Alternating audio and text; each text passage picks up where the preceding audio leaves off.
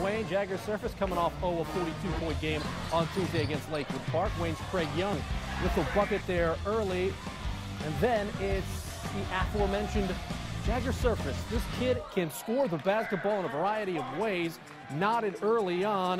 Then it's Tysh Cobb with the bucket right there. The Bruins up by a deuce early on. How about Craig Young?